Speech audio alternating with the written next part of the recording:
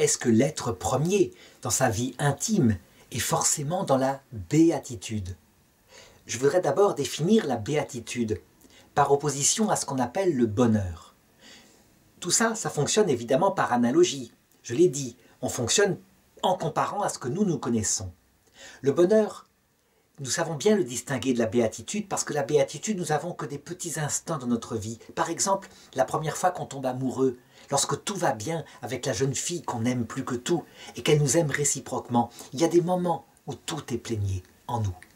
Mais on le voit, à un moment donné, vont arriver des disputes, puis l'usure du temps. Et donc, si on tient dans son couple avec cette personne, on obtient le bonheur. Ça veut dire quelque chose qui n'est pas la perfection du début, mais qui, je dirais, nous comble quelque part, et que les jeunes d'ailleurs prennent pour quelque chose de bourgeois, d'assez stable, qui ne leur convient pas lorsqu'ils rêvent d'absolue béatitude. Eh bien, on doit dire que pour l'être premier, Dieu, l'Éternel, qui est une personne, qui a une intelligence, qui a une volonté, je l'ai dit, forcément, il est parfaitement bien dans tout son être, en lui-même.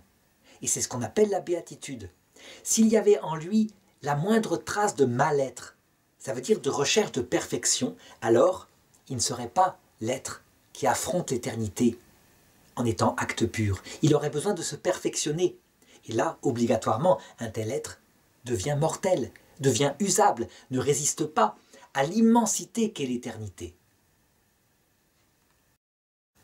La conséquence de cela, c'est que on doit affirmer que l'être premier est pleinement heureux en lui-même, qu'il n'a absolument pas besoin de créer, que sa béatitude, qui est identique d'ailleurs à son être même, le comble de toute éternité de manière immuable, plénière, comme l'infini peut combler l'infini.